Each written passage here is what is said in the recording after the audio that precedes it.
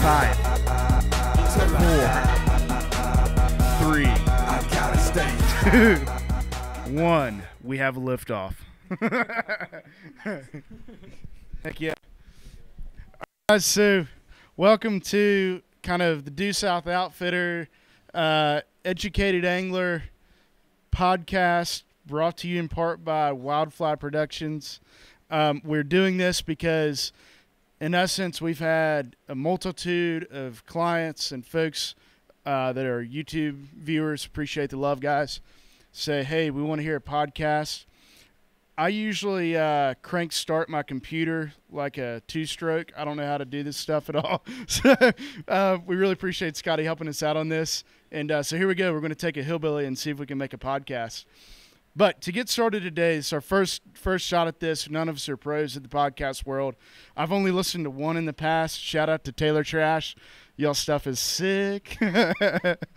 Appreciate the love, boys. Good stuff. Um, anyways, uh, so we're gonna give it a shot. But today we're gonna talk a little bit about fishing.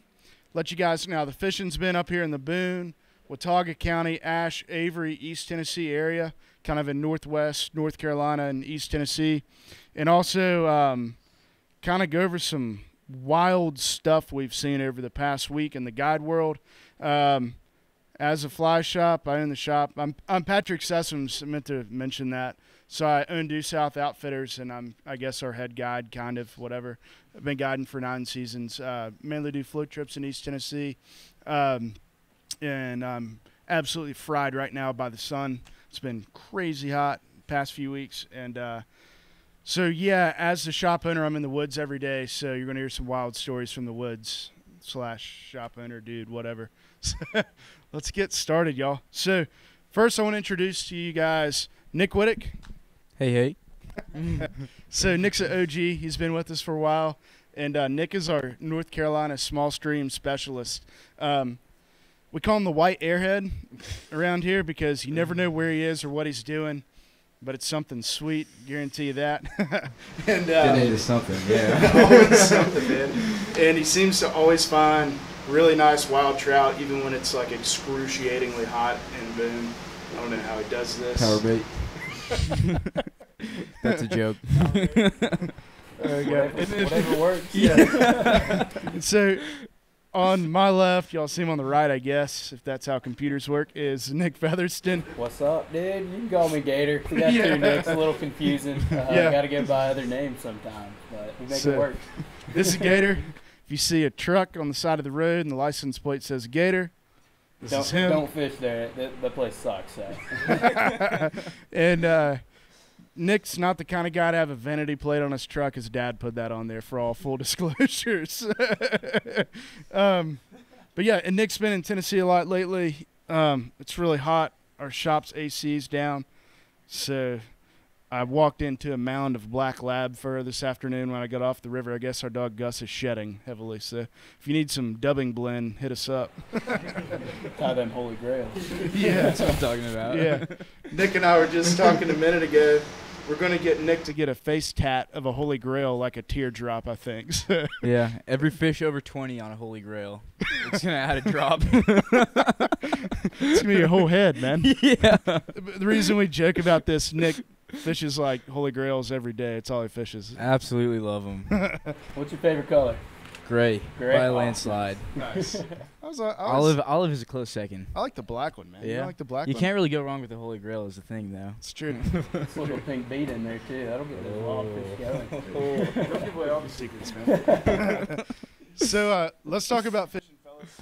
Um, who wants to start? All right, so why don't we start locally in North Carolina? So all you North Carolinians or folks that are coming up here to fish locally, give you heads up on what's going on. Wittick yeah. here's been living in it, and uh, he can tell you what's up. So what's happening? It's been uh, it's been pretty solid fishing. We've been uh, kind of following some some stockings recently, and, and finding some stocked fish, which have been nice. But uh, and is are you talking about like the delayed harvest or what's up with that, man? So actually, hatchery supported. Hatchery supported, harvest? yeah. Um, but also a little bit delayed harvest a few weeks ago. Um, the Valle Crucis Park got restocked, so we fished that a few days, and that was kind of a little nice surprise in the uh, a little nice relief from the heat a little bit. of wild fishing, but as it is, wild fishing is still pretty good as well.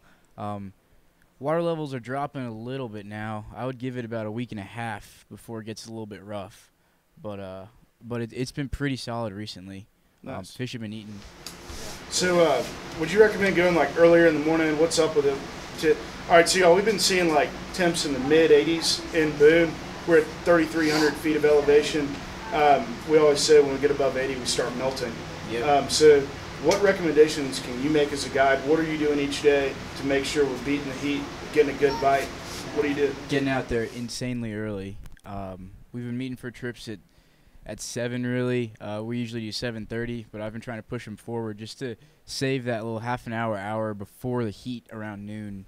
Um, really, around noon and one when that sun comes up and, and starts beating down on the water really hard, um, fishing can really go downhill pretty quickly. Um, but in the morning, it's been pretty solid, and, and if and if you get out there, you're gonna want to go in the morning. Cool. And one thing I'd like to mention too.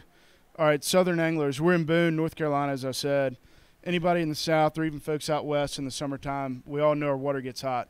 You know, if it's that 60, 65 mm-hmm. degree range, let's maybe reconsider fishing um, because we don't want to stress the fish uh, any more than they're already stressed. Yeah. So uh, keep that in mind. If you want some more info on that, hit us up. We'll be glad to help you out. Call the shop, whatever. And we go into whole podcasts on water temps and handling fish, et cetera, which we will do one day. So yeah. 60 gets sketchy and done, not above 65. Yep. So. Mm-hmm go early. Sounds like.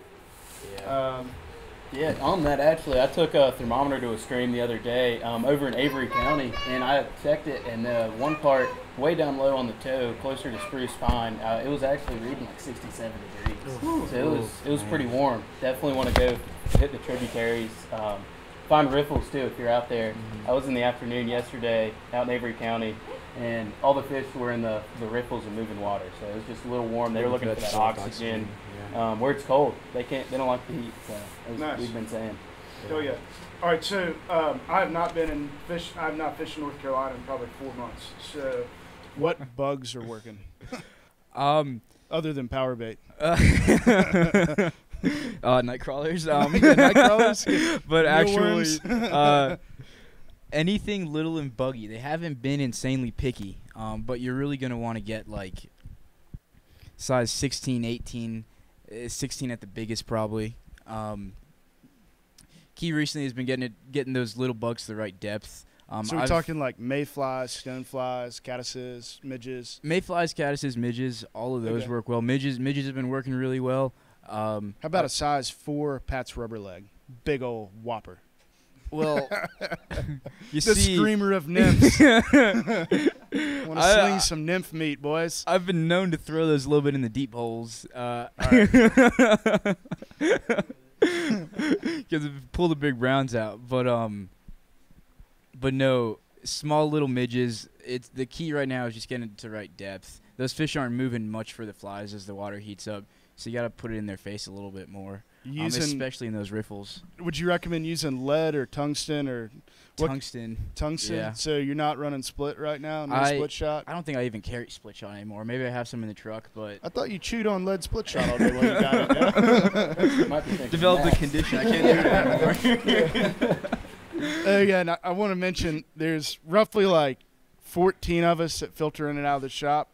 And so you'll meet the other boneheads as this podcast goes on. Nick just mentioned Max. We are pretty sure Max licks his lead anchor every day before you guys. something wrong. Something wrong. That's some wild stuff. It's this weird like juju stuff he's got going on. So. All right. Yeah. cool. So solid yeah. fishing locally. Yeah. Stay cold. Go early. Find that elevation change for the wild streams. Okay. So really.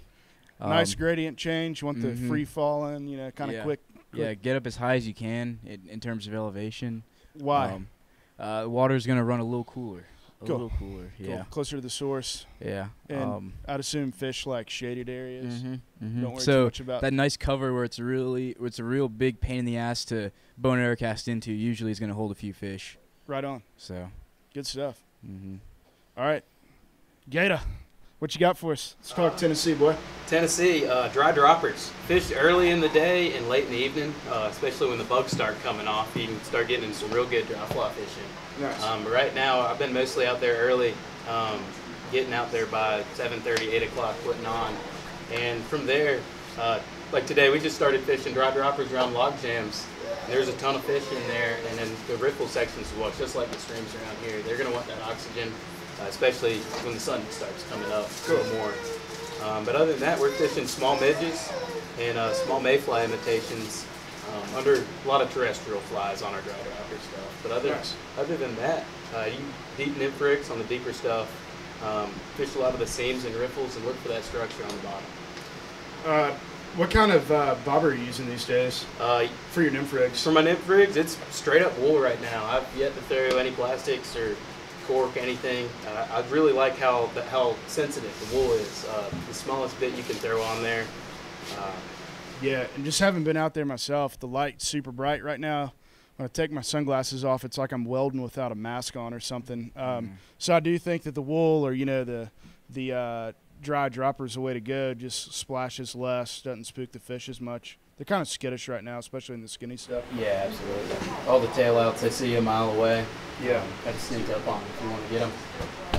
I don't know about you, but uh, I got into some falling water the other day. It fished really nicely for me on the Watauga. Definitely, yeah.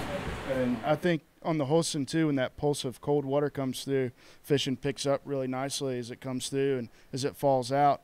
Uh, I think four days ago I was on the Holston and about two, three o'clock it was hot. It's like 93 degrees, and they definitely got the lockjaw pretty hard. But all the way up till then, it fished really well. So I think same thing Nick was saying: go early, try to stay cool, and get out early.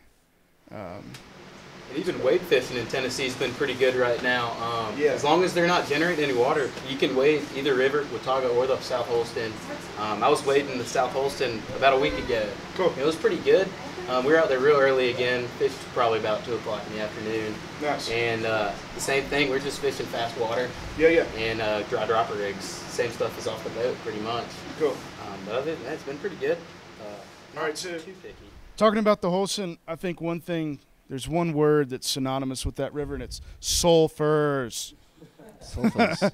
I think every person that calls the shop and asks about the Holston, they go, "What about the sulfur hatch?" Everybody wants to know. All right, so with the sulfurs, um, honestly, it was really smoking good for a few weeks there. They're definitely dying off. Uh, I was on the upper Holston a few days ago. The water came on. Saw a few here and there, but nothing wild. You know, we are seeing these really big blanket hatches and fish losing their minds. But I think from what I've seen, it's kind of going away. Um, there's still some around. You know, I've been fishing the split case a little bit subsurface, and you know, Comparaduns or puff daddies up top on occasion when we see a good pot of risers. But um, I wouldn't like put your eggs into the sulfur basket if that makes sense. Seems like a pun's there somewhere, but uh, rotten egg. Maybe, I don't know. anyway, so um, yeah. Anything else on Tennessee? Okay, got a question for you. Saw a boat the other day. It was two o'clock in the afternoon.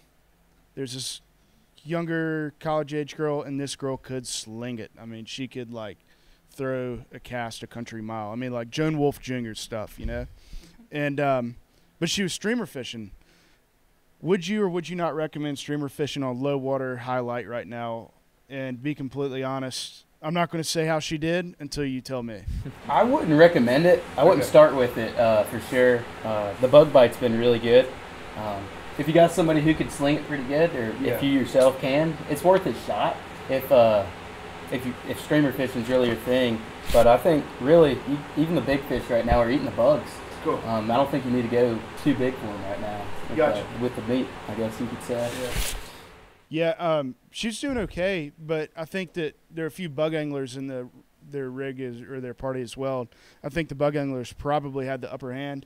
Um, you know, I think if you are streamer fishing, maybe focus on the faster stuff to get that reactionary strike. But um, I tried some the other day, and it's like they were trying to dodge it pretty much. It's like a massive scud missile coming at you. One thing I would say, uh, if you see some uh, big brown chasing a little dink rainbow up at the boat, might as well throw it. Maybe Yeah. get it and just get them to eat. And that's Sling a good way to catch a 20 plus inch brown trout too. But that's more on the spot type stuff. Yeah, sling some salami. So maybe just have a streamer rod ready, fish bugs, and if the opportunity arises. That's what I would Pop be 'em. doing. Yeah. Cool. Yeah, so I want to talk about something real quickly, and y'all can probably key in on this a little bit too. Um, So it's summertime. A lot of wade fishermen out. Y'all, uh, the Watauga and South Holston are tailwaters. If you don't know what that is, please call our shop and we will key you in on it. But we want you guys to be safe. Um, it is very easy in these weird pulses they're running for the summer to keep the Mhm. rivers alive um, to get stranded on the river. Okay, so in essence, it's like a massive tide. You know that river might rise three to four feet, maybe five feet in some areas when they release the dam. So it's very important if you're fishing the South Holston or Watauga tailwaters to know exactly where you are, when the, what the generation schedule is, when it's going to hit you, etc. Um, yesterday, I was putting in on the Watauga, saw a wade fisherman, and he was fishing across the river from the put in. Water came up unexpectedly, and we couldn't find the guy. Put the boat in, tried to chase him down. He was nowhere to be found. Called for him. People looked for him for a long time, and I still have yet to find out what happened. But his truck was gone, so hopefully it all worked out well for him. But it was definitely pretty concerning. Um, so stay safe out there if you're wade fishing. Like I said, if you have any questions on when, what, where, whatever on the Watauga or South Holston, um, and you're waiting, please call our shop and we'll try to dial you in because we want everybody to stay safe. The water comes up quick, so if you're not ready for it, you'll have a hard time getting out. I mean, I think someone had to get rescued like a month back or two, wasn't it? really, I believe Yeah. so. Will Yeah. was out there Yeah, not too long ago it. down at Hunter Bridge. Yeah. and they were just taken off the river. And then the water came up on them unexpectedly. It, uh, it was an unannounced generation, impulsive water, and uh, these guys ended up being right out there at the middle pylon of the Hunter Bridge, and they had to put a jet boat in it. Supposedly, I wasn't there, but they s- it seemed to be pretty wild. So definitely keep your eye on the app, TVA Lake Info app. Uh, the Wilbur Dam is what you want to look at. For the Watauga, yep, and then Yep. South Holston Dam for South Holston. Um, I rescued a dude last year, nearly drowned. Uh, it was not cool. Definitely wade safely, guys. All right. So uh, Even Yeah. on the small streams too. Um, Yeah. If you're going out there, if you're hiking in, I really wouldn't recommend going by yourself. Um, even uh, in those hiking spots, you're probably wearing rubber stuff to walk in. Um, so when you get out there to the river and you're wearing rubber, it's like an ice rink. Just be safe. I've fallen down and hit my head before. It's it's not fun. I thought you were drinking that day. No. No, we're not talking about that one. it's a different one. I thought it was the day we were fishing together. All right. Oh yeah. Yeah, yeah. So it's it's been warming up here a lot, and uh, there's a spot we fish down in Avery County over by a church, and uh, there's so we, we park in the parking lot and, and hop right into the river right there, and every day on the dot, there's probably four or five dogs that come by, and uh, they're just the prettiest golden retrievers you'll ever see, like gorgeous dogs. You just want to pet them, but they will tromp through the river like nothing else. So you're just sitting there having a good time fishing. Next thing you know, you hear some splashes, and before you even get a chance to react, they're swimming through your hole, spooking all the fish. So uh, what we did yesterday actually was um, since it um, so there was some people keeping fish at some point, and uh, apparently they cleaned fish right on the bank right there. Not your guess, but Absolutely no. Yeah, yeah, yeah. yeah. Bait fishermen that were fishing the same Yep, area. yep. And so the dogs were sniffed around behind us because there were some scraps left over. So we had to pick those up, throw them like 20 yards on the bank, and walk them over to it just to have their attention to to not jump in the river and uh and ruin our fishing for a little bit. Nice. Everyone wants to cool off right now. So do the snakes. Watch out, they're Oh, everywhere. That's why I don't fish in North Carolina. That's why I'm wearing waders still, sweating, sweating my ass off. All right, so yeah, I don't think there's a single person that works with us that likes snakes. We all hate snakes, and um, I'm a big snake weenie. I cannot stand them. And uh, I had a black snake take a poop on me um, the other day. On it's kind of weird. He uh, was hanging in a tree above me, and I don't know what happened, but uh, something fell on the boat. It was not the snake, but the snake was up there. It's kind of left a slimy residue on the boat, so I couldn't wash it off. It was weird, but yeah, snakes, suck. Snakes aren't fun. Yeah, I had They're one out to eat a uh, fish I was netting a couple weeks ago on a local stream. I was looking down and he was swimming after the fish as I was trying to get him to the net. Kind of startled me a little bit, but he You ever hook any of those accidentally? No, We've I haven't done that- hooked. I've we've gigged a couple before. snakes frog gigging before back in the day. That's kind of fun, but it's a good way to keep them from biting you if you gig them. But otherwise, that. Oh my God, Texans and Floridians think they have snakes. Come on up here. y'all got giant ones, but we got volume. They're everywhere. um, I don't know what I was. Oh, I was gonna mention uh, two types of poisonous snakes around: rattlesnakes and copperheads. Most of your water snakes are not poisonous, but I still wouldn't like still screw with them. you, Yeah. they'll bite you, and they got all kinds of nasty stuff going on.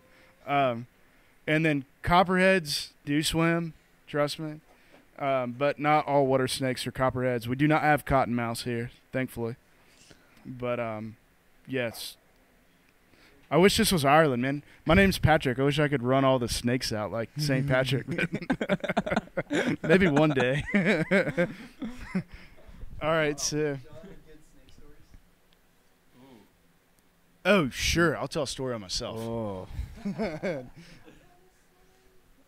Yeah, Meredith, do you want to tell the story right fast? My wife Meredith loves this story.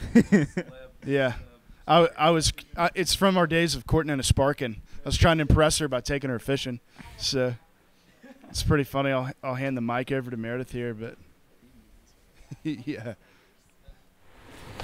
Hey guys. Yo, yo, yo. Yo, yo, yo, yo. I'm Meredith. I look like a mom today because I am a mom. Very busy mom. Um, She, uh, all full disclosure, she runs our shop and manages all of our bookings. So she's got the hardest job of all of us. thank you for that, honey. Imagine putting up with 14 mid 20 year old boneheads every day. it's Gotta be fun. I'm the. Especially Kyle. Especially Kyle. Um, yeah, so this snake story, right? Uh, were we engaged at the time? Negative. Okay, so we were just still dating. So this was back when Patrick used to take me fishing all the time, and um, now she drives me like a farm worker. I just work nonstop. she d- handles all my bookings. That's why I never get to fun fish with her. Yeah, that's why. Um, so, um, oh, we were bouncing around a couple local streams, and uh, this was when he was still convincing me to just wear chacos to fish in. Now I wear waders and boots. Um, have y'all heard this story I before? don't think I have. Um, so we go up to this one stream. Uh, it's a little feeder into the Watauga. Valley Creek, if you know where that is. Okay, yeah, down in Foscoe. Yeah. So we go up this little stream, and um, you know, we're fishing a couple holes, and there's a little bit of a plunge pool. So we're standing kind of at the base of that, casting up into the the hole above it, and then all of a sudden, literally, a flash goes by me, 225 pound flash. just That'd gone. and I'm just standing there. And I turn around and I, I'm like looking back downstream and I'm like, where are you going? And he goes, Snake! and I'm sitting there like, oh, cool, I guess. Just leave me here. Like, Chaco's on, like, he's like walking on water. He's running so fast. And I'm like, you know, like a newborn deer trying to get down this creek and this giant water snake chasing us. Yeah, that was very like The thing had like lifted its head up like a cobra or something, you know. I was really freaked out, and when I popped my head up to fish a plunge pool, the Joker's like looking straight at me. So of course I'm wigging out. Um, man, just left me there. I think I might start guiding in Ireland. I think they have snakes too. I thought they ran the snakes out. St. Patrick ran the snakes out of Ireland. Next podcast Hit us will up, be a y'all. history Yeah, lesson. let us know. yeah. So y'all got any funny snake stories? Uh, the only one I have, uh, my roommate Kyle, who actually also works with us. One day he and I, it was one of the first times I've ever fished with this guy. Uh, quickly learned he does not fish in the summertime. Uh, but we were fishing, same situation. We were coming up, uh, it's just a local small stream. I don't even remember the name of it. Um, but we were fishing, and we got up to all this bunch of concrete rubbish on the side. I'm in the water casting. There's a great looking little hole I'm getting up to. Kyle's up on the bank. And all of a sudden, he just takes off running. I mean, he could have ran out of his shoes. I mean, just like you, just like that Yeah, yeah, story. yeah. Um, he, I look away. He's already 150 feet from me. I'm like, dude, there's another hole up here. we ended up turning around. That was the last hole that we fished that day. Nice. Um, No lie, I mean, saw a snake and he would not deal with it. I'm not too scared of him. I don't like him, but I'll mess around with him a little bit here and there. I have a good one from a while back too. What you got, man? We were. Uh, it was probably almost two years ago. We were out yeah. on the Lower Watauga, and in um, North Carolina or in Tennessee? Tennessee. Oh, in Tennessee. Yeah. Oh god. Yeah, yeah, yeah. On the trophy section, and um, we were pretty close to the boat ramp, and we had just put in, and we just see like this shadow kind of start to come out the boat from all the way across the river, almost Uh, by the cabins? up there through there. I think I think Yeah. we've talked about this before. Yeah, yeah. But um, it's it's this snake that's just like charging the boat, and and there's nothing really we could do because we had like you couldn't really you couldn't really move too much to actually get out of the way, and we were just trying to whack it with the with the, ed- the tips of the rods, Nice. and that wasn't doing much. It's literally like like Jaws or something. You know, the the snake got up to the boat and went under, and we were like. We're like, where the where the hell is it? I think we eventually beat it away with like the tip of a four weight rod, which Nice. wasn't doing much, but we should uh convince Hardy to make a rod like th- the Hardy serpent or something, you know, just for beating snakes. it's a really stout, fast action serpent rod. Knock him around a little bit. Yeah, Just beat the snot out of snakes with it. You know, you show up for a guide trip, two anglers, you have three rods. Like, what's the third rod? It's like, oh, it's my serpent staff. yeah. I, you know, you're talking about that snake at the trophy section. I'm pretty sure that same snake tried to get on my boat one time. Um, that's not cool, man. no, they But come yeah, at you. man. What- it's hot. What are they thinking? Um, well, right on. We just talked about snakes for a while. Saw some other crazy wildlife. Yeah, we did. I saw. I had some really, really wild stuff happen. Um, usually, when we're talking about wildlife, we're talking about like I don't know hillbillies or something. Usually, me, I'm the hillbilly, but uh, they're all asking me if I want to do the deer story. Daughter Ruth, she's about to turn a year old this weekend. So, come on, Ruth. Hello. Hey. Welcome to the podcast. Do you want to say hello? Um, so yesterday, I think Patrick mentioned earlier, uh, the guy that got lost up on the Upper Watauga, which my version of that story is having Max, uh, which she also mentioned earlier, call me and say, "There's a guy missing on the Watauga. Have you heard from Patrick?" Like. While So- I'm guiding my wife's in bed asleep. Yeah. I like so like who Max? Can you like elaborate a little bit? Because I'm gonna go from like like okay, cool, somebody's missing to like my husband is gone in like you know three seconds. So he's like, oh no no, like Patrick was trying to find him. So um, he gets home yesterday, and I'm like, what is going on? So luckily the guy was okay. Um, but then this morning he calls me and he calls me twice, which like never happens. And our thing is like, if you call more than once, like it's important. I, I never answer my phone when I'm fishing, or I'm not on the phone at all. Yeah, like if I get a call from him, I hate and technology. Like I know he's guiding, that it's important. This Well, microphone's burning my hand right now. So, um, I call him back, and he goes, "Oh, hey, what's up?" I'm like, "Yeah, what's going on? Like, everything all right?" And he goes, "Dude, something crazy happened." And I'm like, "Oh my god." And uh, I'd like to preface this with um, while I'm making this phone call, I smashed my phone on accident on the ground the other day, and I literally have like shards of glass going into my ear while I'm calling her. And I had a chance to get my screen replaced. I had it in a Ziploc bag for a while, and that just stopped working. So I'm talking to Meredith on the phone with like shards of glass going in my ear. All right, Meredith, go ahead. Yeah. So, um, he's like, dude, something crazy happened, and I'm like, oh my gosh, if somebody else is missing, like I'm never going floating with Patrick again. Like this is just like way too crazy. So he goes, everybody's okay. I'm like, all right, well, good. Let's get that out of the way. And he goes, but there was a fawn that literally jumped off a 50 foot cliff and landed on a log literally right beside us. And I'm like, what? Yeah, so I guess I'll tell you what happened. Um, so I'm fishing uh, with a long-term fishing guest, good friend of mine, Lee Wittig, who's 87 years old, and he absolutely crushes, by the way. So uh, we're set up in this little hole, and there's a giant cliff. It's probably I don't know, 75 foot tall cliff or so. And out the corner of my eye, Lee's landing a fish. I see this just thing falling off the cliff, and I thought inherently it was. Uh,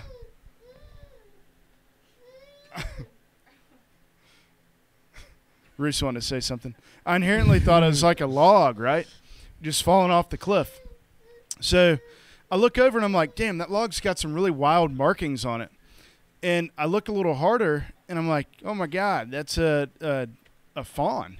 Straight up. Like a fawn fell from about 50 feet up this cliff into a probably a 15 foot deep hole and landed on a log. And um, so, of course, we pick up our anchor and I row over. And this poor fawn is wedged with its head like up on the log and its rear end down in the water. And um, you never seen an animal so happy to see me. Usually dogs and stuff can't stand me. Um, so this this fawn lights up, and poor guy, man, you could tell he's distressed. He's almost you know drowning more or less. So he picked him up and put him in the drift boat. When we picked him up, I noticed that both of his back legs were absolutely um, shattered. They were just kind of dangling there like two sticks in a bag. Um, really sad. So, anyways, uh, we took the fawn over to the side of the river. He's shaking profusely, and um, there's like a little pasture with some goats where we were. So I got off, got him in the pasture, and uh, wrapped him up in a Hodgman wading jacket. little props to Hodgman there. kind of like uh, Don saving ducks, Hodgman saves deer. Um, so we wrap up the poor guy, warm him up, and I immediately called Meredith one, and then also our shuttle driver Kelly Reap. Miss Kelly, I don't know if you'll hear this, but we all think you're like the sweetest lady in the world. We really appreciate you doing everything you do for us. Um, she moves all of our trucks on the river, and Miss Kelly knows everybody. So if you ever need anything, just call Miss Kelly, and she's going to be able to help you out. You know, she'll tell you what you need to do. So I call Kelly, and she's immediately like, "Oh, honey, that's not good. Let me see what I can do." So she calls a couple animal shelters or like rescues, and of course, nobody's set up to handle a deer with a smashed rear end, basically. Um, and her neighbor is a sheriff's deputy, so she talked to him, and he said, "We'll just call 911." So I literally made a phone call to 911 about this deer, um, while you know he's in this goat pasture. So we get him 911 operator goes, and we're a pretty good ways away from roads here. They go, all right, so the Wildlife Resources Commission will come out and get the deer. And so um, this guy's really struggling at this time. And, you know, I didn't really have anything to, if you will, put it out of his misery. So I'm, I'm not going to do that. Um, so we, in essence, loaded the deer up in the drift boat and talked to a game warden. He's like, all right, so I'm about an hour out. So for about an hour, the deer chilled with us in the drift boat while we fished. Caught a lot of fish. We tried to comfort him the best we could, just make sure he felt good, um, or the best he can with two smashed legs. And uh, we were able to row downstream to a road, meet up with the game warden, and um, he took the deer. And I don't know what happened to the deer from there, but hopefully he's doing well. Hopefully he found somebody to help him out. But um, yeah, so it's pretty wild. Today I saw a fawn fall off of literally a 50, 50 foot tall cliff nearly drowned. We got him out, and hopefully he's doing all right tonight. We're going to be very hopeful here, but um, kind of interesting. Never a dull moment on the river, that's for sure. Mm-hmm. So while he was calling 911, for deer, I was calling everybody else I could think of. So the TWRA website has a list of like licensed like wild wildlife rehab centers, and I was literally calling everybody in like Carter County's like region. I called the TWRA people like four times, I think. I called the Knoxville Zoo. I called the uh, veterinary uh, hospital at UT. Nice. And then finally, I got a hold of somebody, and um, that said that they could help me, but Patrick would have to, you know, get to a spot on land because she was like, the deer's in his boat, and I was like, yes, the deer's in his boat. I've got And she- pictures. it's pretty, she pretty was wild. like, what? And I was like, the man has a very soft heart. so, um, and I do want to say this: Lee Wittig, the guest I'm with, is the nicest guy, maybe that I know, and he goes, "Well, you know, Patrick, we could always abort this fishing trip and just try to get this deer some help." and just such a nice guy. Um, but yeah, I thought that was pretty cool. Yeah. So, um, one of the other guys, Drayton, was in here, and he basically was like, "Wait, what's going on?" And I was calling and calling and calling, and he finally goes, Meredith, you're gonna have a fawn at your house tonight. and I was like, you're not surprised Shot me. deer. Yeah. Oh, Shop shop deer. deer. There were goats at one point. yeah. we, we did have goats at one time that hung out on our drift boats, but yeah. shop deer. But yeah, hopefully, uh, hopefully he's doing all right wherever he is. It's a interesting day on the river. Y'all got any interest in stuff that's been happening? A few weeks back, there was a snapping turtle in a, in a local stream out here. Nice. Literally just just swimming just swimming through. There you go. Um, never seen one before, but uh, uh, the guest was just like, "Hey, what's that?" And I looked, did kind of double take, and I That's didn't a know what it big-ass was for a few seconds. yeah. No, I actually saw one. We just kind of got out of the way, really. Yeah, eating them stockers, I guess. but- Oh, snapping turtles and stockers. Man, that that'd be a cool death match. I think I knew who'd win. Yeah. I don't think it's much competition. no. Oh gosh. Yeah, and then another crazy thing that happened to me. I, I I've got a lot to talk about here. It's been a weird like couple days for me.